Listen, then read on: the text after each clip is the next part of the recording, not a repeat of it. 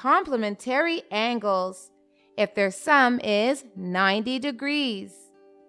Example 40 degrees plus 50 degrees equals 90 degrees. So 40 and 50 are complementary angles. Let's take another example. 30 plus 60 equals 90. So 30 and 60 are complementary angles.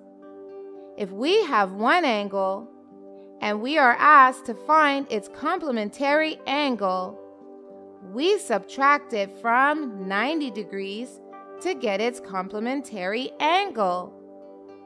Example, what is the complementary angle of 55 degree angle? For that, we will subtract 55 from 90. 90 degrees minus 35 degrees, we get 55 degrees. So, 35 degree is complementary angle of 55 degrees.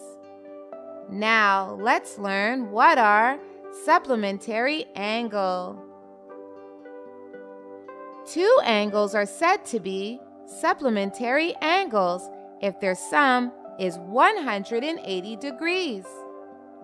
Let's take an example. 70 plus 110 equals 180.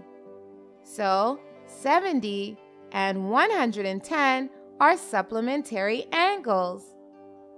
Let's take another example.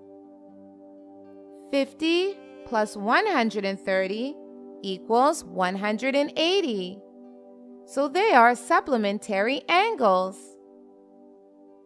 If we have an angle and we have to find its supplementary angle, we subtract it from 180 degrees.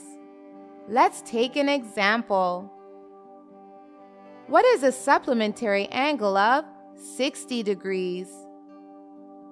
Kids, you have to subtract an angle from 180 degrees to find its supplementary angle.